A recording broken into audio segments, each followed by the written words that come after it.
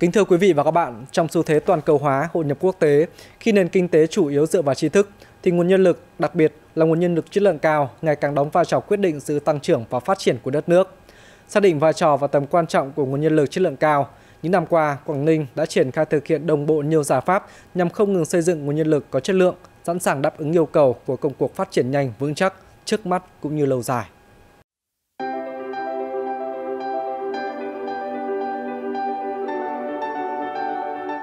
Năm 2014, Ban chấp hành Đảng bộ tỉnh đã ban hành nghị quyết số 15 NQTU về đẩy mạnh cải cách hành chính và phát triển nguồn nhân lực chất lượng cao tỉnh Quảng Ninh đến năm 2020, tầm nhìn đến năm 2030. Sau hơn 6 năm thực hiện có hiệu quả nghị quyết 15, chất lượng nguồn nhân lực của Quảng Ninh đã không ngừng nâng lên. Nhiều chỉ tiêu kế hoạch đề ra đã đạt và vượt cao. Bên cạnh đó, Quảng Ninh đã quyết liệt triển khai thực hiện hiệu quả đề án đổi mới phương thức, nâng cao năng lực lãnh đạo và sức chiến đấu của Đảng, thực hiện tinh giản bộ máy biên chế, gọi tắt là đề án 25 và gần đây là thực hiện chương trình hành động số 21 của Ban chấp hành Đảng bộ tỉnh về thực hiện nghị quyết số 18 và nghị quyết số 19 ngày 25 tháng 10 2017 của Hội nghị lần thứ 6 Ban chấp hành Trung ương khóa 12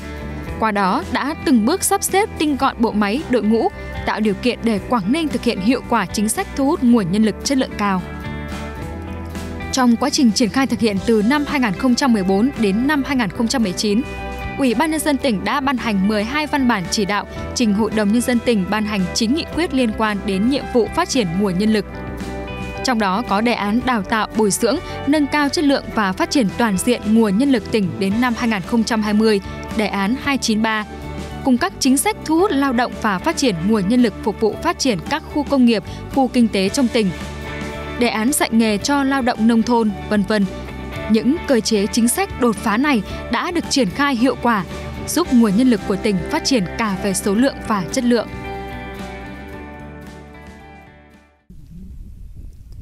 Thực hiện đề án 293, Quảng Ninh đã tổ chức đào tạo bồi dưỡng trong và ngoài nước của toàn tỉnh trong 5 năm qua là 621 lớp với trên 32.800 học viên, tổng kinh phí thực hiện là 259 tỷ đồng.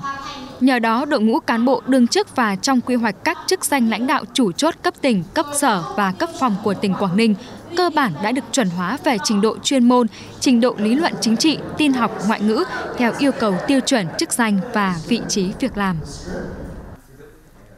Ngoài đối tượng là cán bộ lãnh đạo quản lý chủ chốt cấp tỉnh, cấp huyện, sở trong giai đoạn 2015-2020, để nâng cao trình độ cho đội ngũ cán bộ từ tỉnh đến cơ sở, tỉnh đã quan tâm chọn cử 127 công chức viên chức chuyên môn sâu, không giữ chức vụ lãnh đạo quản lý, 30 cán bộ chủ chốt cấp xã, 15 bí thư tri bộ, trưởng thôn bản khu phố tham gia các lớp bồi dưỡng ngắn hạn tại nước ngoài. Bên cạnh đề án 293, các chính sách thu hút lao động và phát triển nguồn nhân lực phục vụ phát triển các khu công nghiệp, khu kinh tế trong tỉnh hay đề án dạy nghề cho lao động nông thôn, thu hút nguồn lực xã hội hóa.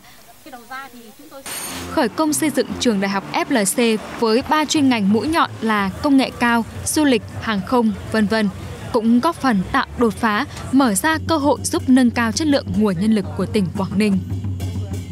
Đến năm 2020, thống kê cho thấy số lao động trong khu công nghiệp của Quảng Ninh đã đạt khoảng 25.000 người, tăng gấp 2 lần so với đầu nhiệm kỳ.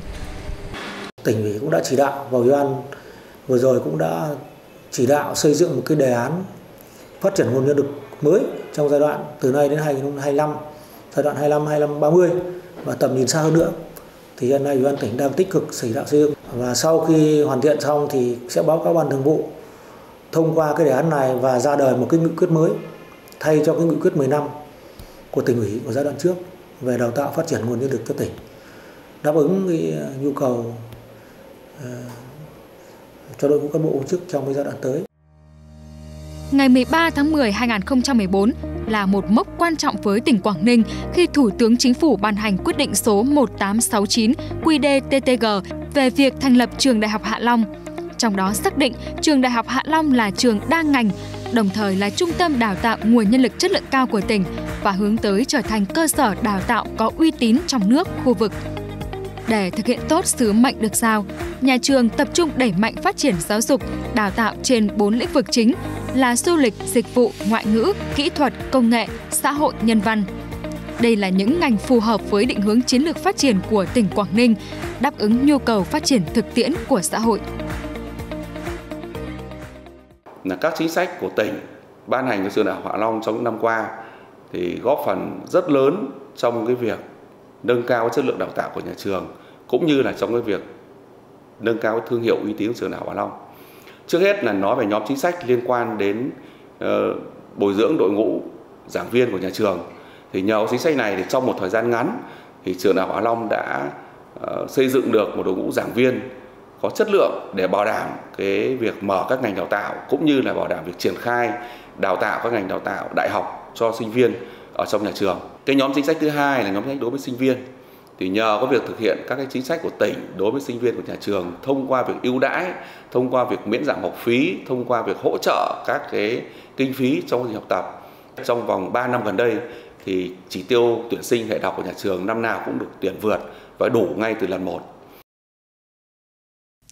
Bên cạnh sự ra đời phát triển ngày càng lớn mạnh của trường Đại học Hạ Long, trường đào tạo cán bộ Nguyễn Văn Cử được sát nhập từ trường chính trị Nguyễn Văn Cử với Trung tâm Giáo dục Thường xuyên và Đào tạo cán bộ tỉnh và trường huấn luyện cán bộ đoàn đội cũng được đầu tư xây dựng mới về cơ sở vật chất, đổi mới mô hình và tổ chức để trở thành cơ sở chuyên thực hiện chức năng đào tạo bồi dưỡng cán bộ và tạo nguồn nhân lực cho tỉnh. Trong những năm qua, nhà trường cũng đã tập trung vào một số những cái giải pháp cụ thể. Thứ nhất là uh, nâng cao cái chất lượng công tác xây dựng uh, các cái chương trình đào tạo bồi dưỡng cán bộ hàng năm uh, phải đảm bảo các cái tiêu chí là cơ bản hệ thống uh, cập nhật và sát với lại thực tiễn của địa phương. Trong giảng dạy thì chúng tôi chú trọng đến cái việc áp dụng các cái phương pháp mới đặc biệt là đội ngũ giảng viên phải sử dụng thành thạo các cái phương pháp giảng dạy tích cực tức là lấy cả người dạy và người học làm trung tâm. Đấy, biến cái quá trình đào tạo thành quá trình tự đào tạo. Trong việc nâng cao chất lượng nguồn nhân lực Quảng Ninh luôn đặc biệt chú trọng quan tâm đến lĩnh vực giáo dục. Ủy ban Nhân dân tỉnh đã tập trung chỉ đạo triển khai các biện pháp đổi mới căn bản công tác quản lý giáo dục, đào tạo, bảo đảm dân chủ, thống nhất, tăng quyền tự chủ và trách nhiệm xã hội của các cơ sở giáo dục đào tạo. Đó là tổ chức các lớp bồi dưỡng về quản trị trường học cho các cán bộ quản lý cơ sở giáo dục, tăng cường công tác bồi dưỡng nâng cao trình độ chuyên môn cho đội ngũ, kết hợp đầu tư cơ sở vật chất, trang thiết bị dạy học hiện đại, đồng bộ để hỗ trợ đổi mới phương pháp dạy học. Nhờ vậy, chất lượng giáo dục và đào tạo của tỉnh 5 năm qua không ngừng được nâng cao cả về giáo dục đại trà và giáo dục mũi nhọn – Hàng năm, tỉnh Quảng Ninh đạt từ 44 đến 60 giải trong kỳ thi chọn học sinh giỏi cấp quốc gia. Đây cũng là giai đoạn mà tỉnh Quảng Ninh có nhiều học sinh đạt giải trong các kỳ thi cấp khu vực và quốc tế. Ở trong những năm vừa qua, tỉnh Quảng Ninh đã có nhiều chính sách ưu đãi đối với trường Trung học phổ thông chuyên Hạ Long. Nhờ những chính sách ưu đãi đó, nhà trường có cơ hội có thể tiếp cận được với các trường đại học liên kết được với các trung tâm, các viện nghiên cứu khoa học giúp cho nhà trường rất là nhiều trong công tác đào tạo bồi dưỡng học sinh giỏi. À, bên cạnh đó, với sự quan tâm của à, tỉnh Quảng Ninh à, cũng đã động viên kịp thời các thầy giáo, cô giáo và học sinh khi đạt được những thành tích trong học tập và rèn luyện. Nhờ đó cũng động viên tinh thần và các thầy cô và học sinh đều cố gắng nỗ lực đạt được những kết quả tốt. Bên cạnh lĩnh vực giáo dục và đào tạo, một số lĩnh vực khác như y tế, du lịch cũng được tỉnh ưu tiên trong phát triển nguồn nhân lực. Ở lĩnh vực du lịch, từ năm 2014 đến năm 2019, tỉnh đã tổ chức được 8 lớp bồi dưỡng chuyên đề du lịch ở nước ngoài cho đội ngũ cán bộ lãnh đạo quản lý và cán bộ chuyên sâu của các sở, ban, ngành địa phương. Những người trực tiếp quản lý phụ trách, theo dõi, tham mưu trong lĩnh vực quản lý và phát triển du lịch của tỉnh toàn tỉnh có khoảng 200 cán bộ đã được cử đi học tập bồi dưỡng chuyên sâu ở nước ngoài về lĩnh vực du lịch. Với lĩnh vực y tế, từ năm 2012 đến năm 2019, có 89 cán bộ, y bác sĩ ngành y tế được cử đi đào tạo bồi dưỡng ở nước ngoài. Riêng trong 2 năm gần đây, năm 2018-2019, kinh phí dành cho công tác đào tạo bồi dưỡng nhân lực ngành y tế luôn chiếm khoảng 10% tổng kinh phí của toàn tỉnh dành cho công tác đào tạo, bồi dưỡng của tỉnh hàng năm. Minh chứng cho cái việc phát triển nguồn nhân lực cùng với sự đầu tư ờ, về cơ sở hạ tầng trang thiết bị hiện đại thì ờ, chúng tôi đã triển khai được rất nhiều những cái kỹ thuật phục vụ công tác phòng chống dịch đặc biệt là covid vừa qua thì cũng đã thể hiện được cái năng lực của hệ thống y tế dự phòng và đối với hệ thống y tế điều trị thì chúng tôi đã triển khai rất nhiều những kỹ thuật mà lẽ ra người bệnh phải đi nước ngoài hoặc lên trung ương để được tiếp cận với kỹ thuật này, thì ngay tại tỉnh thì người dân đã không phải đi xa mà vẫn được tiếp cận với những kỹ thuật à, cao cấp và tỷ lệ chuyển tuyến của ngành y tế tỉnh Quảng Ninh là dưới 1%. So với các tỉnh xung quanh thì tỷ lệ chuyển tuyến là trên 20%. Đến nay, quy mô nguồn nhân lực của Quảng Ninh hiện có trên 780.000 người, tăng 8,2% so với năm 2015. Chất lượng nguồn nhân lực được nâng lên rõ rệt, tỷ lệ lao động qua đào tạo đạt 85%, trong đó lao động có bằng cấp, chứng chỉ đạt 45,5%, tăng 8,9% so với năm 2015. Cơ cấu lao động của tỉnh hiện chuyển dịch tích cực theo đúng định hướng chuyển đổi mô hình tăng trưởng. Đó là khu vực nông nghiệp đạt 23,8%, công nghiệp xây dựng đạt 31%, dịch vụ đạt 45,2%. Những kết quả tích cực trên đã góp phần quan trọng thúc đẩy Quảng Ninh phát triển nhanh vững chắc tốt đầu cả nước những năm qua. Năm 2019, tốc độ tăng trưởng kinh tế GRDP của tỉnh đã tăng cao nhất từ trước tới nay, đạt 12,01%. Thu ngân sách nhà nước năm 2019 đạt 46.546 tỷ đồng, tăng 19% dự toán trung ương giao, tăng 15% so cùng kỳ. Tổng sản phẩm bình quân đầu người trên địa bàn tỉnh đạt 6.135 đô la Mỹ một người trên năm, gấp 2 lần so với bình quân chung cả nước. 6 tháng đầu năm 2020, mặc dù bị tác động ảnh hưởng bởi dịch COVID-19 và tác động tiêu cực tình hình thế giới, nhưng Quảng Ninh vẫn giữ được mức tăng trưởng trong top đầu cả nước. Mặc dù đã đạt được nhiều thành tiệu đáng ghi nhận và tranh thủ đón đầu được nhiều điều kiện cơ hội mở ra từ thực tiễn, Tuy nhiên hiện nay, công tác phát triển nguồn nhân lực chất lượng cao của tỉnh cũng đang chịu ảnh hưởng từ nhiều tác động bất lợi của tình hình quốc tế và trong nước. Khi mà kinh tế thế giới phục hồi chậm, sự thay đổi về cơ chế chính sách của các quốc gia liên quan, tình hình Biển Đông diễn biến khó lường, thời tiết dịch bệnh có nhiều diễn biến phức tạp, đặc biệt là tiếp tục đối mặt với bùng phát đại dịch COVID-19. Những yếu tố này đã ảnh hưởng nhất định đến sự phát triển kinh tế xã hội của tỉnh nói chung trong phát triển nguồn nhân lực chất lượng cao nói riêng. Chính vì thế, để tiếp tục có những bứt phá, một số giải pháp quan trọng đang được tỉnh cân nhắc xây dựng, thực hiện trong thời gian tới là cải cách toàn diện, nâng cao chất lượng giáo dục đào tạo, nâng cao chất lượng dạy và học theo chương trình giáo dục phổ thông mới, chăm lo xây dựng phát triển đội ngũ nhà giáo và cán bộ quản lý giáo dục.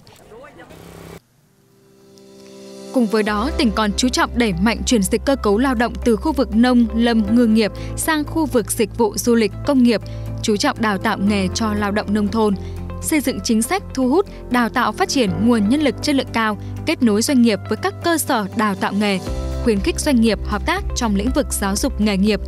quy hoạch xây dựng phát triển trường Đại học Hạ Long theo mô hình đô thị đại học, mở rộng liên kết hợp tác, trở thành trung tâm thu hút đào tạo và phát triển nguồn nhân lực chất lượng cao khu vực phía Bắc.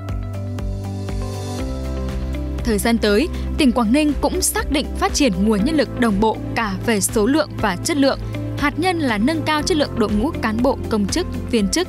thu hút trọng dụng nhân tài vào khu vực công, tập trung nguồn lực cho các chuyên gia đầu ngành, ưu tiên tuyển dụng người lao động qua đào tạo, kết hợp hài hòa giữa đào tạo và đào tạo lại với thu hút nhân lực chất lượng cao, đáp ứng nhu cầu phát triển của tỉnh và của doanh nghiệp.